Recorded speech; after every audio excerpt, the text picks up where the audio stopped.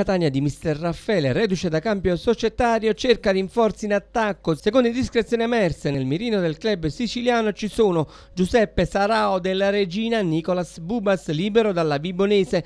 L'attaccante argentino piace però anche al Bari di Auteri, Galletti che puntano forte anche sul terzino Tommaso Dorazio, accostato nelle scorse settimane all'Avellino e che si è liberato dal Cosenza. Alessandro Mastalli, centrocampista e gioiello della Juve Stabia, invece potrebbe tornare in Serie B alla SPAL.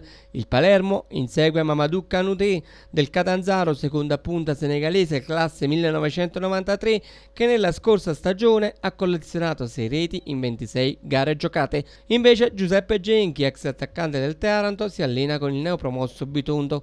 Francesco Cernuto, difensore classe 1992, in forza alla Triestina di Mauro Milanese, piace alla Paganese, che punta fortemente su questo calciatore.